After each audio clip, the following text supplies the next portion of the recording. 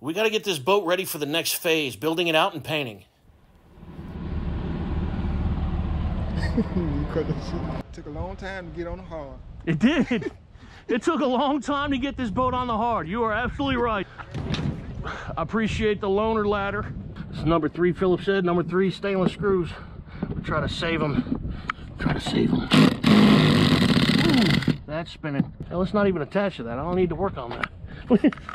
it's not, I thought it was, it's not. It's not like this one.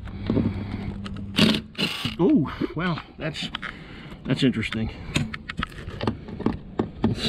I don't guess these are going to come out willingly. Ooh, I got a feeling that one's broken.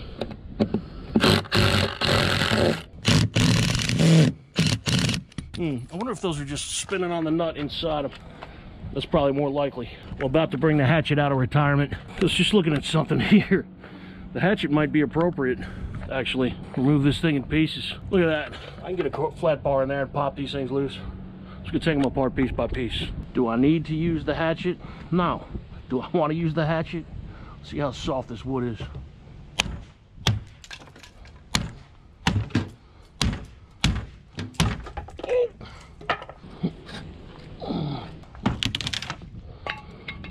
Say it's pretty rotted.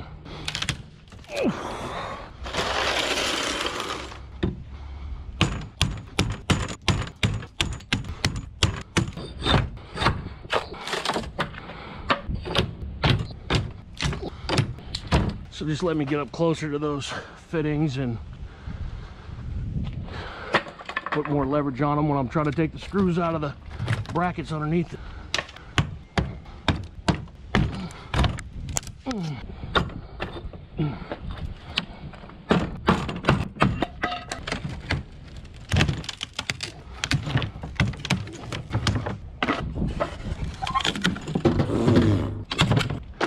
I'd say that teak's probably no good. I mean, I'm not an expert or anything. I can't find a pair of pliers and I'm, I'm not climbing up in the boat for them, I'll tell you that. Yep. Never use a crescent wrench for a pry bar. All right. Return to the 5-in-1 tool. Glad to see you on the project again. An effective tool as usual.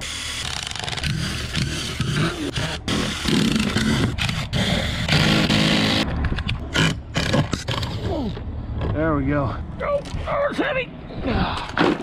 There we go. All right, we're getting somewhere.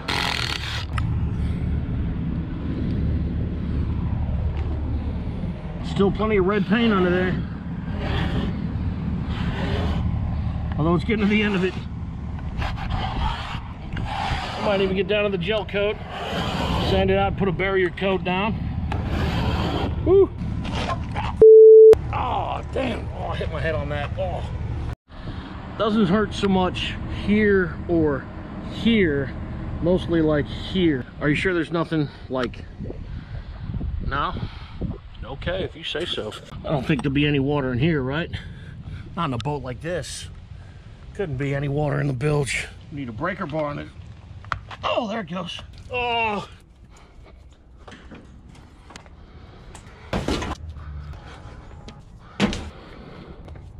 Crusty old rope.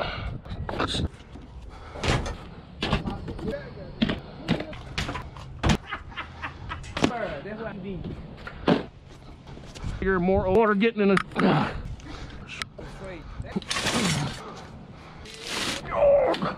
That's the original Sea Ray blender. It's all going in the trash since nobody said they wanted it. Damn!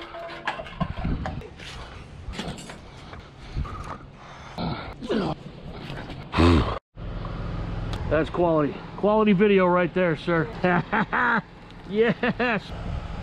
Ah, goodbye, shag carpet.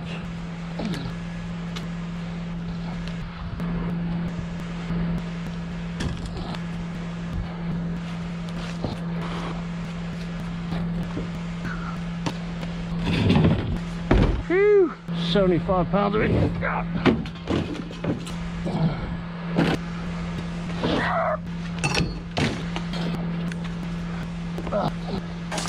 Please do not put anything into the head unless you've eaten it first.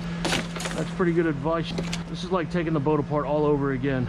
Each piece I pull out of here reminds me of what it took to get it out of there.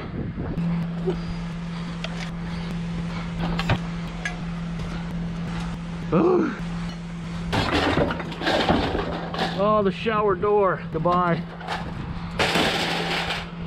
We had many showers together. Stopped by the local senior citizens joint and got me some help. Sorry, Dad. That's a significant pile of trash right there. Why'd you buy a kidnapper van, they said. Well, that's why I bought a kidnapper van. Let's go to the dump. And here, with views of this beautiful vista, the final resting place of the interior of my 1980 Sea Ray.